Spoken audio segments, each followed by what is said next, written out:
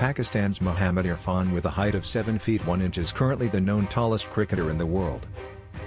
But, it seems like he is a competition waiting for him in his own country. Pakistan's Super League team Lahore Qalandars has roped in a certain Muhammad Mudassar who stands 7 feet 4 inches high.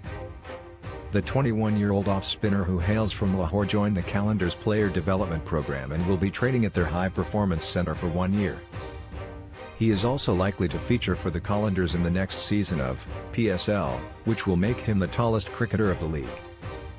When he steps onto the field to play his first game of the tournament, Mudassar will become the tallest spinner ever to play in the Pakistan-based T20 League. Reactions poured in on Twitter after the news came out.